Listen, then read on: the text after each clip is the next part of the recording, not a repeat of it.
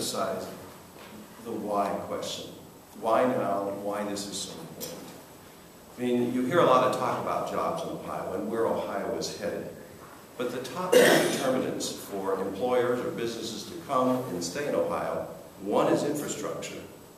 The most important issue, the most important ingredient is an educated workforce. We cannot fail to educate all of our students as we move forward in Ohio. The price is too great if we don't get this right. And we are at a critical crossroads now. There is obviously economic stress upon a lot of our districts, especially in the public school system, and we can't afford to waste any tax dollars that are not used effectively, efficiently, and also are not uh, spent in an accountable fashion, which is why uh, Representative Carney and, uh, Senator Schiavoni also introduced legislation to demand uh, public audits in charter schools. It's too far a great of endeavor for us not to be this serious and not to be this committed to get it right at this time. And I think the issue of full transparency is very important. We know that um, the for-profit management companies legally do not have to open up their books. Now that's a question for the legislators. Do we want full transparency in our public school system or not?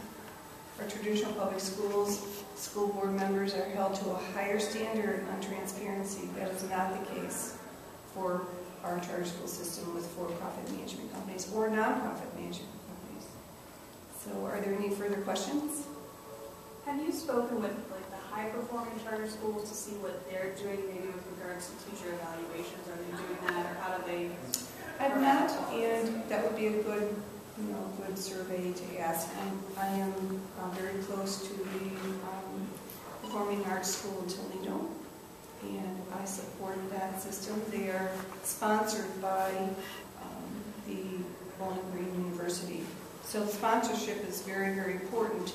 And I wanted to just um, highlight some of the reports that have that have been um, studied and out there for legislators to read.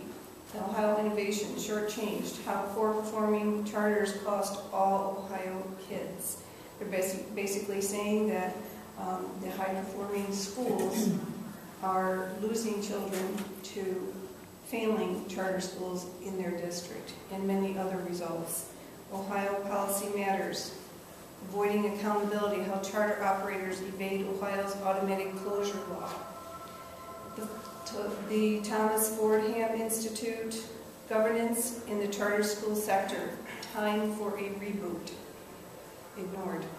And then recently, the Ohio Department of Education released that the Ohio Department of Education warns sponsors of consequences.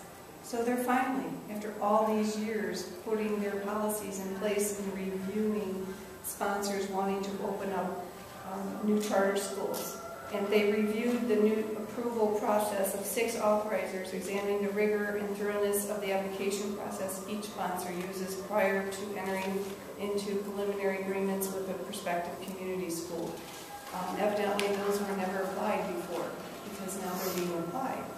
Um, and a lot of the schools are sponsor shopping. So they're really reconstituting, they're looking for another sponsor, and they're just trying to recycle it back into the charter school system and not, not have done any changes. So those are the kinds of things that they're now paying attention to, but I think it's time that we have a legislative study commission to go deeper into these problems. I heard one bill number, 548. Did you give us all the bill numbers? That is, Commission in 547 is the um, community school teachers being held accountable to teacher evaluations. And then you say there will be a third one? Yes, I have um, the delay of the third grade reading guarantee, and I don't have that with me. 539. 539 or 549? Oh, 549, sorry. 549. Yeah.